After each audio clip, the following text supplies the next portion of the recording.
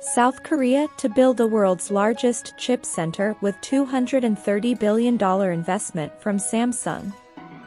The plans were announced by President Yoon Suk-yeol on Wednesday and confirmed by the electronics giant. We will build the world's largest new, high-tech system semiconductor cluster in the Seoul metropolitan area based on large-scale private investment of almost 300 trillion Korean won, he said.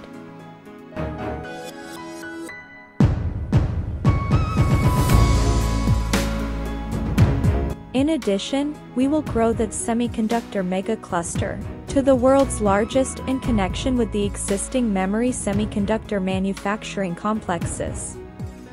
A government statement said the chip cluster would be located in Gyeonggi province, which is part of the Seoul metropolitan area, and the total investment would be completed in about